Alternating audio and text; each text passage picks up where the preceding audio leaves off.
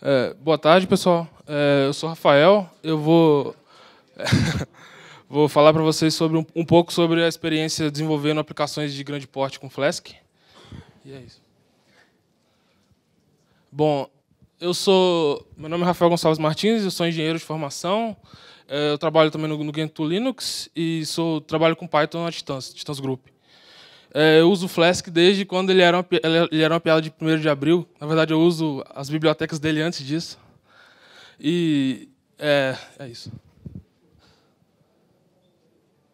Bom, essa palestra ela não é uma introdução a Flask, é, embora os exemplos sejam simples o bastante para o iniciante entender.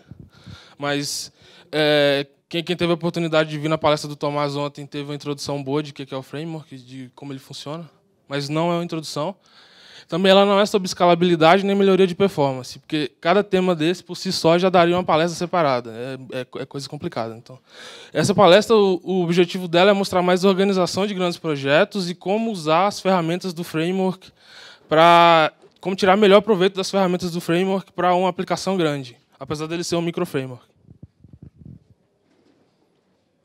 Bom, ele é um microframework baseado no Jinja e no Workzog, que são duas bibliotecas do, do, do, Armin Honaker lá, do grupo Poco, Poco, sei lá como fala isso.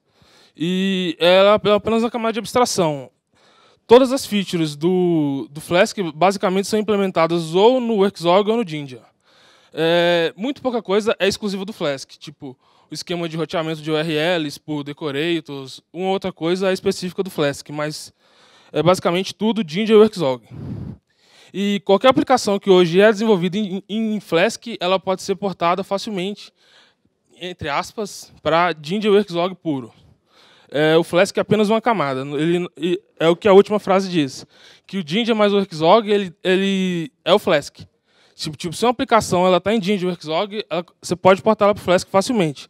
Só que só, se ela só usa as features do Flask, é, você não consegue implementar tudo que a, de flexibilidade que o Jinja Workzog te dá.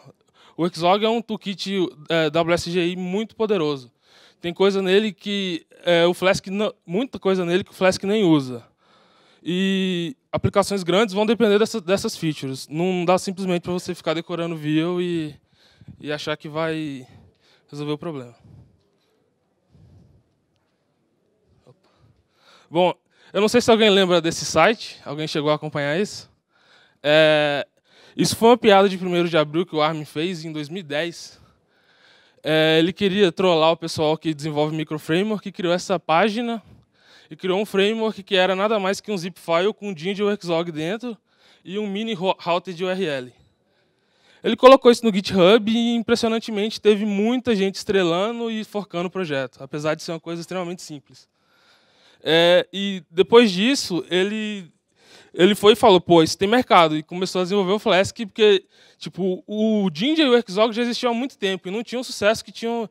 E não, não tinham o sucesso rápido que esse microframework fake, que não era nada, teve em pouco tempo.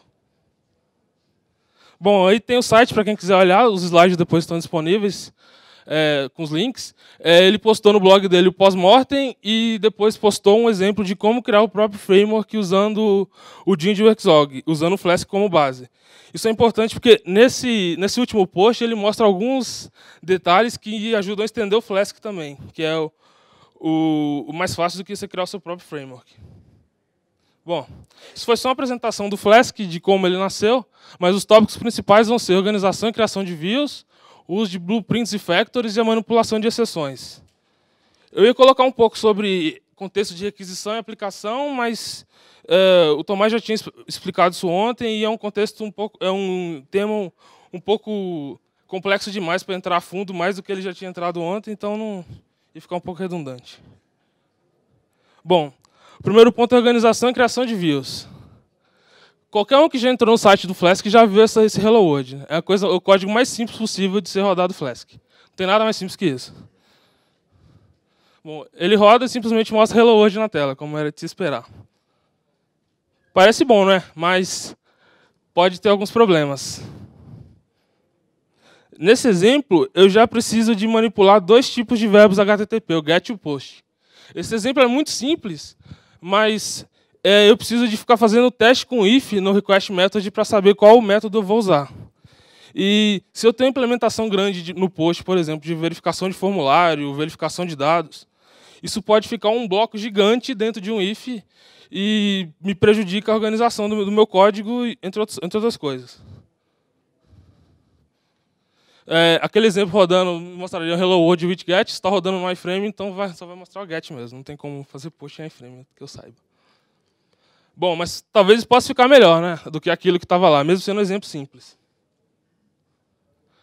É, o Flask ele, pro, ele provê é, dois tipos de, de views plugáveis. É, uma é, um, é uma view simples, que ele só tem um método, um método que faz o dispatch do request e você implementa o que você quiser, que eu não dei exemplo aqui, que eu acho ele um pouco redundante. E o outro é o method view, que ele, ele, ele roteia os verbos HTTP, HTTP para métodos da classe. Então, para você responder ao get, você tem um método get. Para responder ao post, o método post. Poderia ter o método put, delete, qualquer coisa. E esse é um exemplo simples. É igual ao anterior, só que usando classes ele rodando também. É, mas uma das vantagens da orientação a objeto é a reaproveitação de código. Né?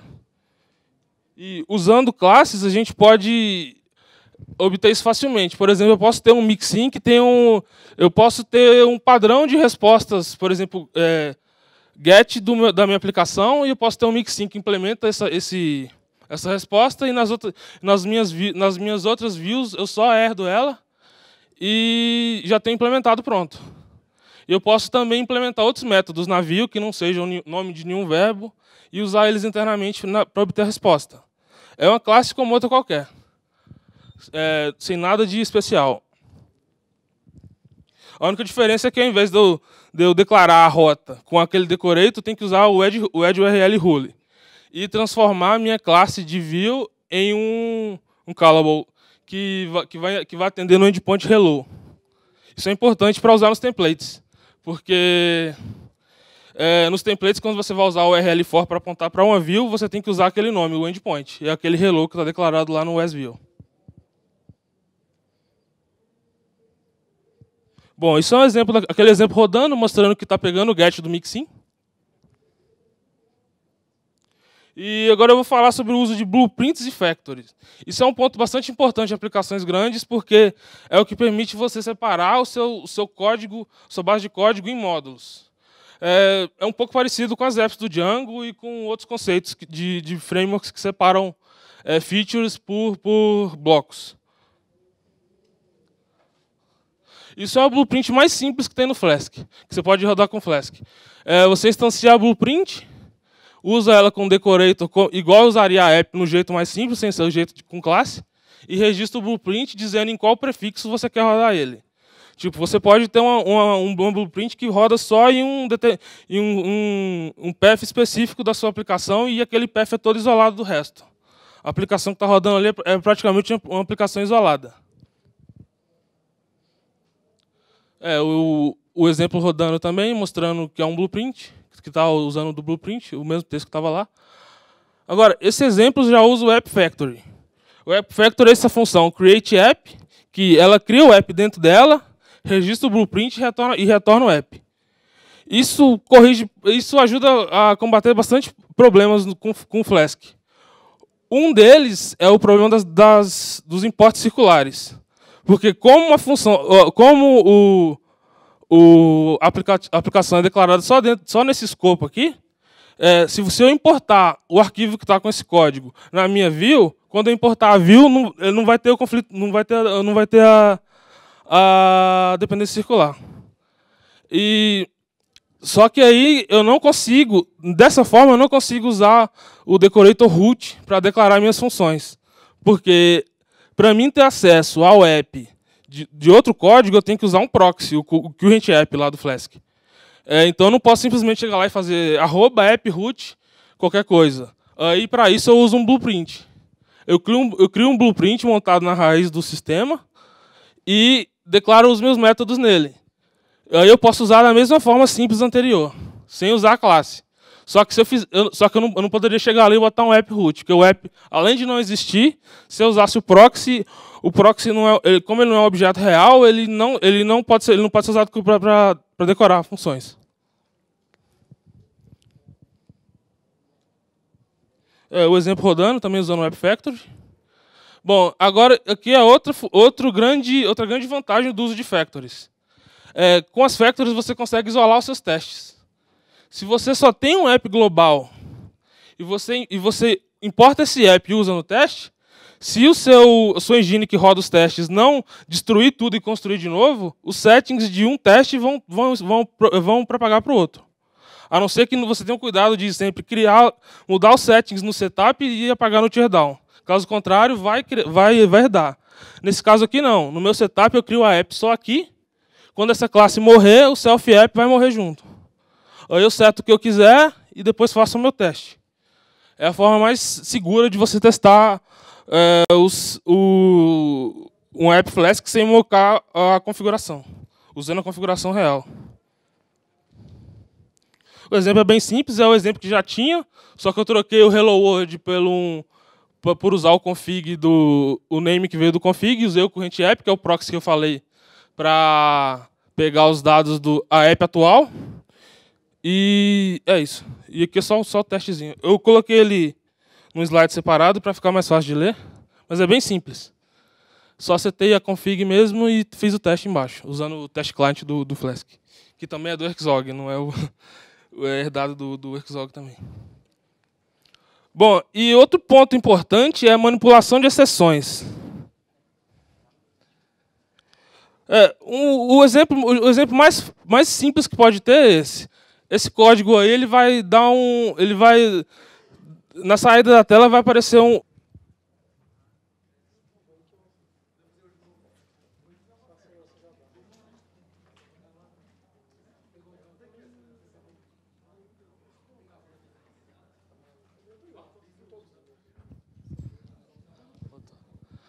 É, posso continuar já?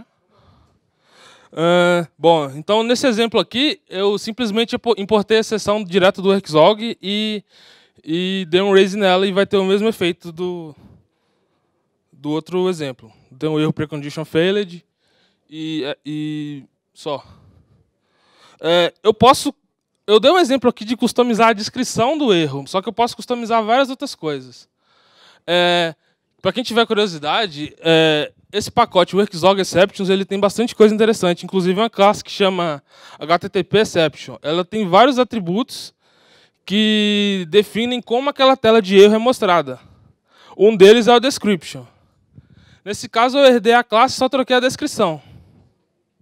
Então, esse é um exemplo bem simples. Ele mostrou lá é, o, a, a, o erro que eu tinha colocado. É, só que uma coisa legal é poder customizar isso. É, por exemplo, se eu tenho uma API REST que responde JSON, eu quero que as minhas exceções também respondam JSON. E uma forma de fazer isso é, é, desse, é desse, desse, jeito. Eu adiciono um handler para a exceção que eu quero tratar, que é 412. E nessa, nesse handler eu uso a, o objeto de erro lá, que é uma instância de, daquele precondition failed. Pego o código dele, a descrição e retorno um JSON para minha aplicação. É, eu já fiz isso aqui automatizado, registrar, registrar um handler igual a esse aqui para todos os erros HTTP, menos o 500 e o 200, que não é erro. Né? É, mas eu, não, eu optei por não colocar aqui, porque é um exemplo mais complexo, mas é, olhando, quem quiser, que tiver curiosidade de olhar o código do erro handler, dá para ver onde que ele seta isso, ir lá e trocar todos. É, é dá para fazer também. E no erro handler, eu posso usar ali, ao invés, de usar, ao invés de usar o 412, eu posso usar a classe também, que ele vai reconhecer.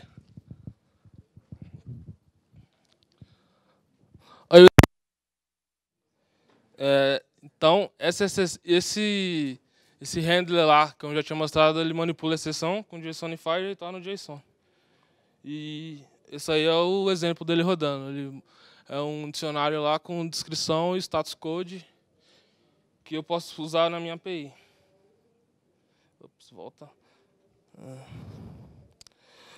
Bom, o, é importante usar esses erro handlers porque, é, como eu falei, se você tiver uma API REST que, que tudo nela é JSON, você precisa que os seus erros também sejam. E qualquer sessão não tratada vai subir para a camada web. Então você vai vai bater na, vai vai sobrar na API.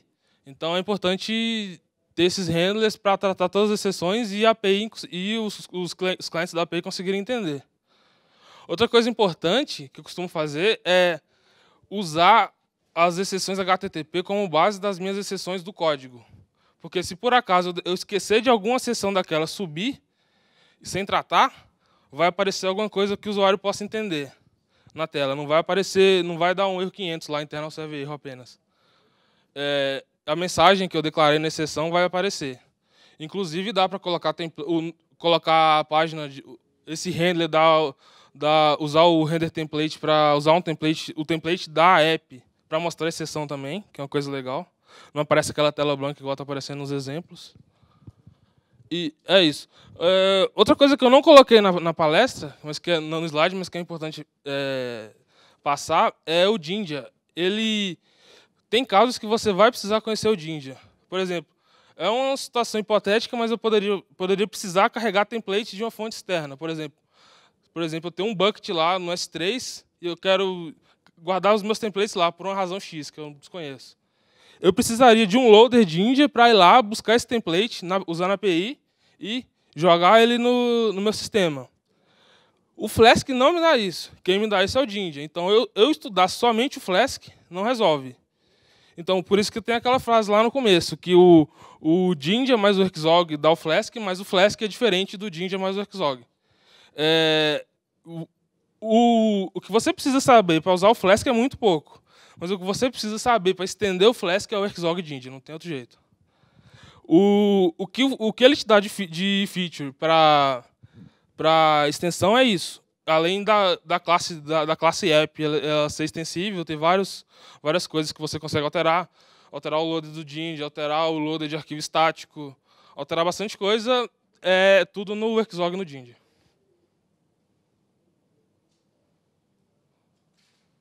Bom, eu tenho alguns exemplos de uso. O primeiro é o engine de blog que eu fiz, está tá, tá, tá disponível. Essa usa, não, usa todos os, os, os, as coisas que eu mostrei, usa apenas algumas, mas o interessante dela é que ela usa bastante, bastante extensão do Jinja e do Workzog. Então, tem loader de template de repositório Mercurial, tem loader de arquivo estático. É, tem bastante exemplo de extensão do Flask, através do Jinja e do Workzog. O segundo é um API para PHP privado, usando REST. É, é um exemplo de uso, de, de uso bom de method views. É, tem bastante... É, a API em si é uma classe daquela apenas. E a apresentação, que foi feita, que é também um app, um app Flask, para rodar os exemplos. E é isso. Bom, aí está o meu contato. Se alguém quiser fazer uma pergunta, fica à vontade.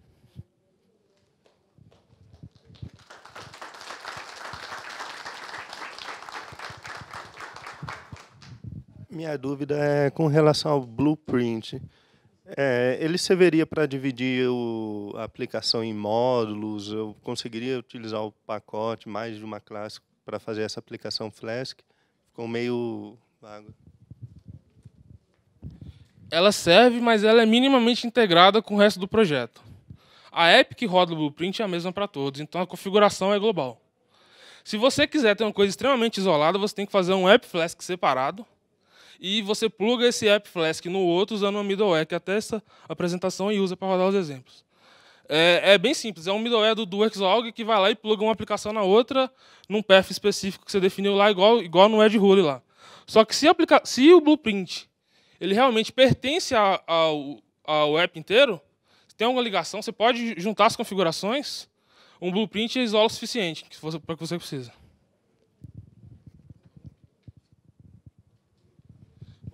Obrigado a todos. É, eu queria. A Titã está contratando.